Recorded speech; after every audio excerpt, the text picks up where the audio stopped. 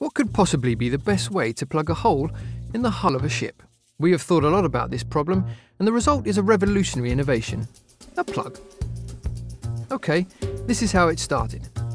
Speed logs are often installed in a tank with a pipe above seawater level. Sometimes the installation also includes a watertight compartment. Nothing wrong with that, apart from the installation time. But what if you could speed up installation by plugging the hole with just a plug? The idea for Easy Tank was born. All you have to do is mount a flange in the hole and fasten the transducer with bolts. Plugged. No other safety precautions are needed, as it is considered a closed-end installation that is totally watertight. The transducer cable is also watertight, making it possible to mount EasyTank in wet and demanding environments. EasyTank the speed log that speeds up installation time.